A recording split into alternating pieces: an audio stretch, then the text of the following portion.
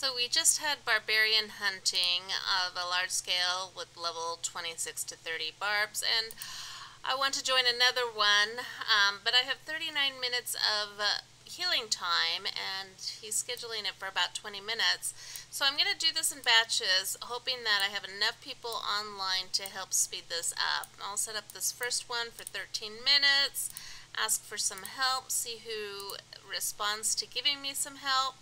It's already gotten down to 10 minutes, so they've already cut down three of the minutes. So we'll see. I'm not going to pay attention to this very closely, but that is a way of speeding up your um, healing. Went down another three minutes right there with just people pressing the spam help. So you can do it in increments like that, and it's especially good if you have increments of less than an hour that you're doing because you get a minute off for every person who presses the help button, and for me it's up to 24 minutes that I can get help for, but I don't think that we're that active, and I want to get as many healed as possible, but look at that. It already took it down to 30 seconds, so I'll be able to set up another one. I'll probably do another 13 minute one. That one worked out really well.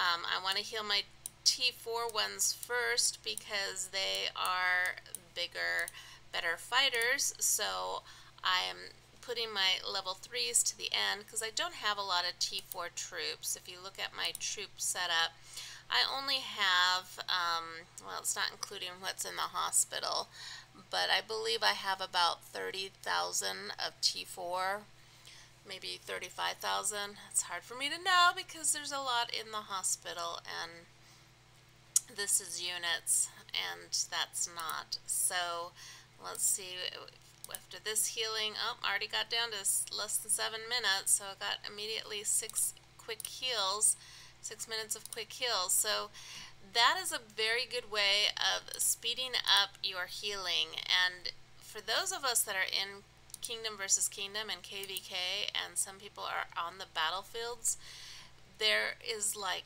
as much as, look at that, already down to less than a minute.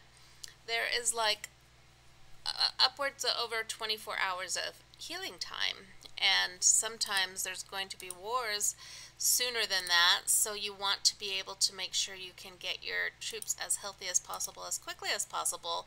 So if you are online, do it in small increments like that. Take advantage of the help that your alliance can offer you. Now I'm down to 14 and a half minutes. I'll just go ahead and just finish off these real quick and then do the T3 because I have plenty of T3.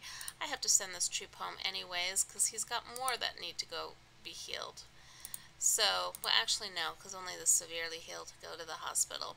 And so now we'll do this 11 minute one. So I'm almost completely healed. That only took less than, what, three minutes? And uh, it was scheduled for 40 minutes, less up to 24 minutes of Alliance help. So it was up scheduled for more than 16 minutes, and it took less than three. So that is a great way for speeding up your healing. Do it in small batches. And you can also, as you know, when you're doing your healing, unfortunately I can't show it right now, you can choose to heal your infantry or your cavalry or your archers. You know, you can choose what type you want to be healing. In this case, I wanted to heal my T4, so I put them ahead of the others. But you can also do it with um, specific type of troop as well. So that way you decide just how quickly you will heal based on how active you're willing to play around with feeding or determining how many troops to be healed in any given time frame. Okay, for now, I'm wishing you Godspeed and signing off.